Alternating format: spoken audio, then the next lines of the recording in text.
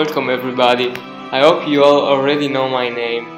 I am William Shakespeare, the most known playwright, actor and poet, widely regarded as the greatest writer in the English language and the world's preeminent dramatist. I was born April 23, 1564 in Stratford-upon-Avon and unfortunately died overnight of my 52nd birthday. I've been working as a playwright for a very long time, for 20 years, and during my career as writer I captured the complete range of human emotion and conflict. In fact, I am often called England's national poet.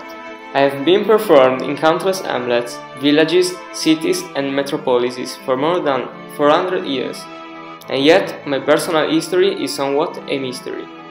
Only two sources provide historians with an outline of my life my plays, poems and sonnets, and the official documentation such as the church and court records. My works include some collaboration and consist of about 38 plays, 154 sonnets, two long narrative poems and a few other verses. My plays have been translated into every major living language and performed more often than those of any other playwright. One among these, that is also one of the most famous, is Otello, of which we will listen together to the explanation.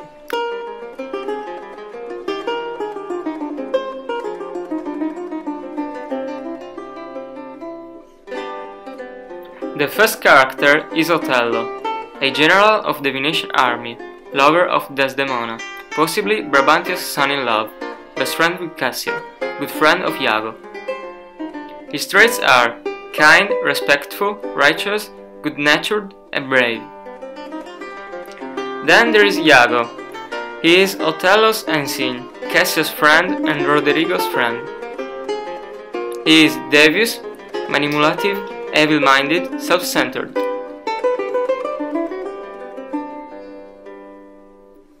Cassio is the lieutenant of the army, best friend with Otello, supposedly friend with Iago. He is good looking, kind, and loyal to Otello, also Cassius. Then there is Roderigo, supposedly Iago's friend, and Desdemona's lover. He's naive, foolish, and intelligent. He trusts Iago blindly, which leads him to his downfall. Otello's relationship with Desdemona is unbearable for him.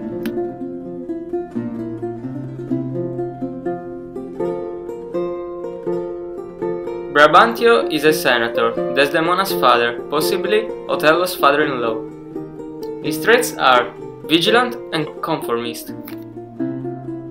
Then there is Desdemona, the daughter of Brabantio and Othello's lover. She is kind, intelligent, rebellious, loyal to Othello and attractive. The story of William Shakespeare's Othello is set in 16th century in Venice and Cyprus. Otello the Moor, a noble black general in the Venetian army, has secretly married a beautiful white woman called Desdemona, the daughter of a prominent senator, Brabantio. When he finds out, he is outraged and promptly disowns her. Otello's son, Iago, harbors a secret jealousy and resentment towards the Moor, partly because another soldier, Lieutenant Cassio, has been promoted ahead of him, and also because he suspects that Otello has had an affair with his wife.